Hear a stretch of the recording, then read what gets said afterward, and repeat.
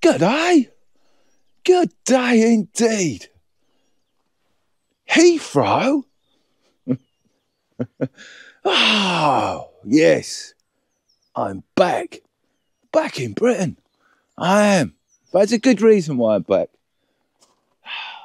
It's lovely. The crisp morning. The beautiful English countryside. It's awesome. The sound of the birds. I miss this place. I do. Might be a bit crisp, bit cold, but I've been to the Himalayas. I am equipped for the Great British. What's left? Spring. Sorry, I think we're three or four days into spring. Okay, right. Now, this vlog is really to inform you about why I'm here and the future of the Vlog and the Dead Horse channel um, and my future. Literally, I'll tell you everything. But first off, I bought a motor. I have. I have bought a motor. I have. It is needed. I haven't had a car since 2010. So you can probably think with a car like that, the insurance would be right up there where my drone is. So no, I have bought a motor, but no, I've not bought that one. No, no. Imagine me riding around in that great big thing. That's some kind of super duper Audi for millionaires. That I am not. So, I have bought a motor. I have. I have. Now, you're probably looking at that and think, hey, come on, Sean, you're not 25, are you? That is a low insurance group motor. That car is, that BMW. Have I bought a BMW? Have I fudge? so I'll tell you what, I have bought a motor. I have. Bought a real motor. But you know me, when I come and rent my apartments, I'm not really worried about the furniture or spending all day in accommodation enjoying the artistic nature of paying a ridiculous amount of money to go to sleep. No, I, I like a bed, a fridge, and internet. That's about it. So when it comes to a car, I don't want all the BS. Don't want to be wasting my money in diesel or petrol or tax or insurance or speeding fines or, or anything else. So I have bought a motor. I have. And this little motor here is called Flow. It is. That little Ford Fiesta 2002 has cost me 400 pounds. It is MOT'd until October and it's not too bad. It did cost me. I've not driven a car since 2010, so I don't have no no claims bonuses at all. I'm just over 50. So with my over 50s plan, I managed to get third party insurance and breakdown cover for just 450 quid, which is pretty cool because I'm going to be using that car for the next four to five weeks, making vlogs around East Anglia. Um, I will, and I will tell you in a bit on the route. I'll tell you why I'm actually back in the UK, and I'm really pleased to be here because right now I wouldn't swap my life right in with anybody right now. It's a place where I want to be, and I'll tell you those reasons in a minute. And uh, but that car right there, it's going to take me four weeks to register that because that's going on the European tour. Yes, that's that is what I've bought the car for. I have come back. I've now got to register that. I think it takes four weeks to process that to get my paperwork so I can take that abroad for Europe for three months which I'm really looking forward to. Uh, it's awesome. I like Europe. I love the Mediterranean. I love the temperature. It's not too hot. I won't be putting factor 50 on every day. No, factor six or four, maybe. Yeah, and the food. The best food in the whole of the world is along that Mediterranean coastline. So I'm looking forward to experience all that. I'm looking forward to the absolute experience of having a real life, going to real countries where, oh man, it's going to be awesome, Europe is, it really is. Now, I'm not bigging it up to you. Um, I will say Thailand is what it is, but it's got, it's got, it's this negatives and positives. for the greater good of each and every personality on the planet of where we want to be, what suits us the most. And Thailand is, it's all right for holiday, but it's too hot. The food ain't very good. Accommodation is hit and miss. People, well, Thai people, again, uh, very much hit and miss. Uh, you don't know really where you stand and you're a third rate citizen. All right, you can get your wallet out to pay the old bill, but you know what? I like a bit of continuity. I like, I like, I like to be treated as an equal. I do, um, especially when I'm promoting a country in its good, bad, and ugly form. Right, so I'm not going to get off because I've got a destination I need to be. So next time, hang on, I'm going to be in. I'll set any camera up, so I've got dash cam. I can film whilst I'm yapping in the car, and I'll tell you where I'm off to and what I'm doing in a tick. I just need to lock the house up, turn the internet off. Hang on, hang on, hang on, hang on. Do do. Brother's moving. This car, Flow, is equipped with a CD player. I know. I have two CDs. Yeah, I do. I do. Look. That's all the CDs I own. Two. Both signed. From Brothers Moving. Danish. I think they're Danish. Anyway, I like them. They're a cool little band. So here I am. Oh, man. Don't you just love driving on the Norfolk countryside?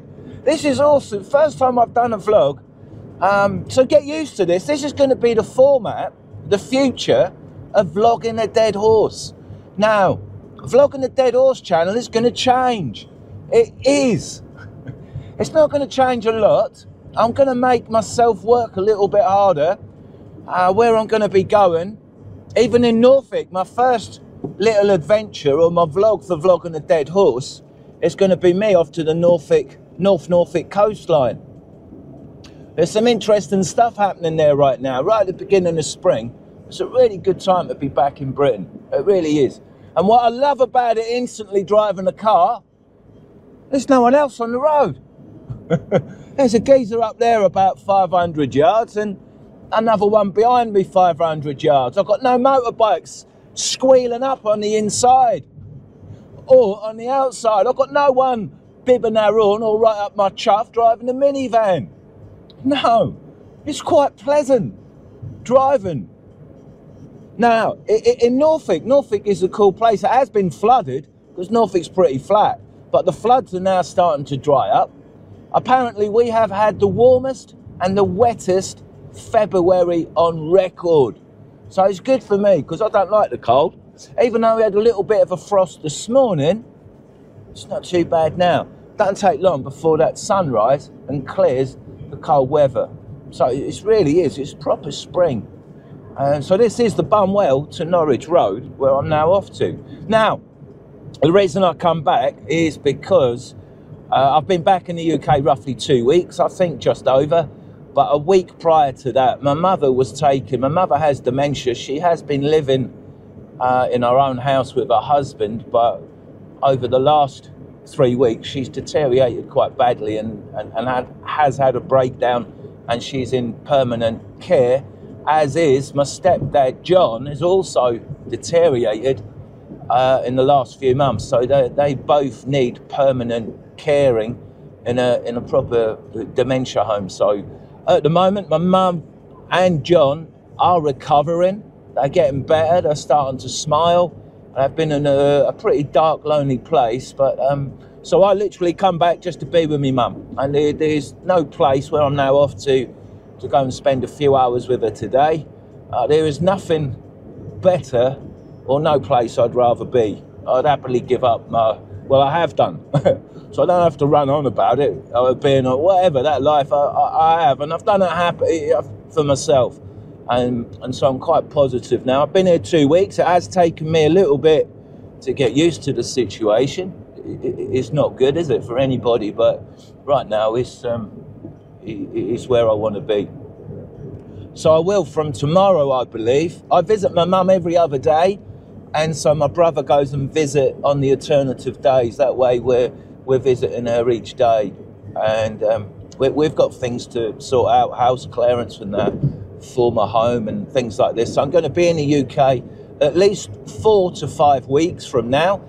I am going to be, like I say, it's going to take a month, I believe, to register this car to take it into Europe. I don't have European cover or insurance, but that is something I'm pretty sure I can add uh, to my sh- insurance as and when. I do have some car boots to do. I've got pretty, I've got some lumber. Uh, I've got some things that I'm going to be doing. And so today, the first thing I'm off to uh, is, which of course is why I bought the car, because where it's been so wet and cold, it'd be a nightmare doing this journey on the Lambretta every day. I don't mind every now and then, but that's why I had to buy a motor really, and uh, so I'm making it work for me. I can go and see people I haven't seen, and I've, again I can use it to make the vlogs that I want to make, which I, I didn't or couldn't last time I was here. It's just too cold uh, to get on that Lambretta and go and do 30, 40 miles to the coastline, do a vlog and come back. that, that's, that's too much like hard work, far too much. So it's good, the car behind me has closed in, but as you can see, he's not right up my chuff boy. It's not forcing me to drive quicker. That's really cool. Because like I say, this road and me and this car, we just drive 30, 40, 50 mile an hour. That's about it. Obviously, when I get on the motorway, we'll be having a burn up. But right now, that takes 40 quid to fill the car up with petrol, and it does good mileage. So it's pretty good. Happy. Brackenham, I'm now coming into 30 mile an hour limit. If you ever come through this village, there's a load of villagers here with their own speed gun. Yes, there is. And the, mark me, right? They're usually down there on the right when they come out. They do, uh, and it's the villagers. They've got their own speed gun. They wear their fluorescent jackets. They're usually down there on the right, right? And uh, and, uh, and if they catch you on the gun, they send the information. They're usually here on these greens. I don't know if you'll see them. Uh, Norman's Way, uh, right there, right? And they'll, they'll, they'll hide up behind these bushes, they'll come out, because a few people do speed through it, but you'd be daft to, because it's a really bumpy patchwork road. So you, you need to be driving 30, 40, 50. Um, you do, otherwise you could, you could mess your suspension up a bit. But, so they do, they're just normal people, and they do do, they send the information off to the old bill, and you will be getting a letter now that if you if you consist, they they actually take that as evidence and will will arrest you uh, and get your points for speed. Just thought I'd tell you that. Right. So I'm now coming in, I believe, to Mulbarton. I am. Now shortly be in Norwich, where I will continue my vlog after I've seen me mum. Uh, now this car, Flo, does need a clean whether or not I make a vlog about cleaning the car today, I want to go to one of them um, car cleaning places and have that experience of, of what a car owner would do every now and then. You don't clean your car yourself, you take it to where there'll be a load of either Polish or Indian, whatever, foreign people ready to come and earn some money. Now, when I read my comments on, on coming back to Heathrow, well, you, you lot, you, I'd say 50% if you're really racist. And there's, mate, you don't have to point it out. I thought you were in India. I thought you were in South Korea. I thought you were there. Based on, I didn't see no English people in England. Well, let me tell you something, people. If it wasn't for all those people coming to England, to Great Britain, to work, right, in all those jobs the English don't want to do, can you imagine what a muddle the country would be in if you didn't have people from India working in them low paid jobs, right? Or or serving you at the petrol station or being on your tills at Aldi's. Imagine what a mess. Well, the country is becoming in a mess because now, if you're a foreign citizen and want to come to the UK and work, you need to guarantee that you can bring an income of £30,000 a year. So, what that's basically done, that's got rid of all the cheap labour.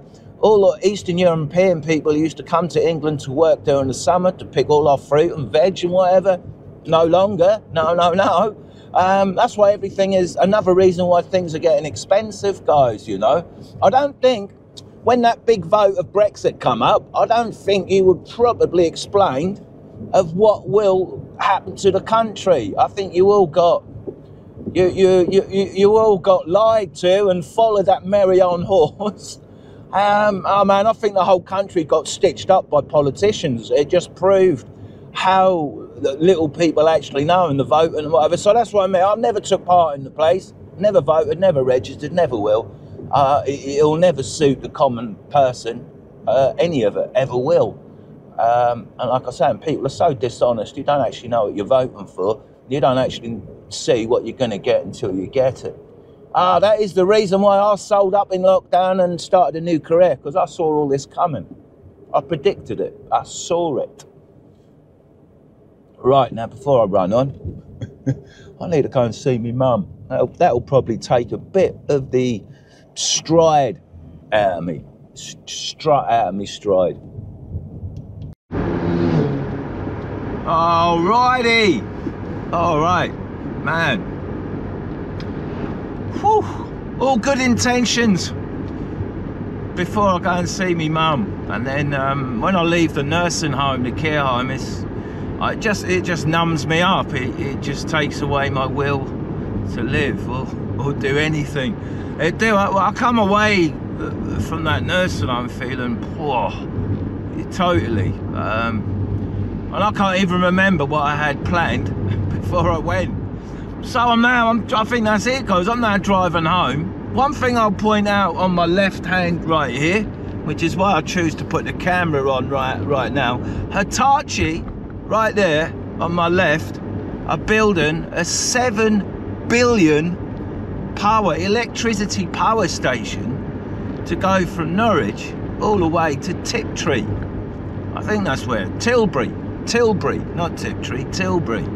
There's a few protest banners up about because in this wonderful world of renewable energy, when they're going to be putting in great big double-sized power cables right across this beautiful countryside.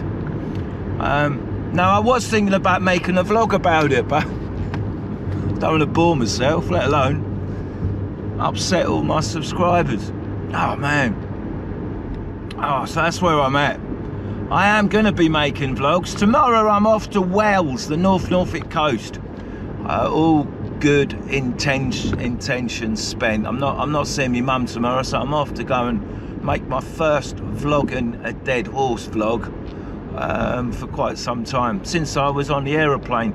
Um, like I say, I've had two weeks where I haven't made vlogs. I've just been waiting for my vlogs to catch up because I do get a little bit ahead and it's just as well that I do because it, it, obviously gives me the time and space that I need if um, uh, if something pops up that's not not brilliant so that's where I am but I will be concentrating this year through Europe to get all all seven of my YouTube channels monetized and uh, I believe going through Europe uh, is going to have the strong potential for me to do that.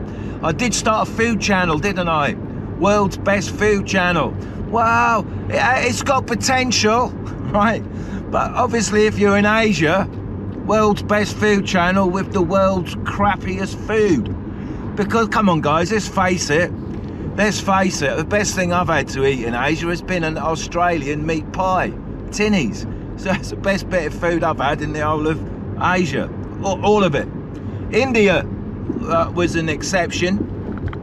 It's a country that is an exemption on its own. India, it's like Africa is, is Africa and India is India. But Asia, the food uh, ain't too good, is it? It really isn't. So where I now got the scope of going France, Italy, Greece, and then other countries, we really are.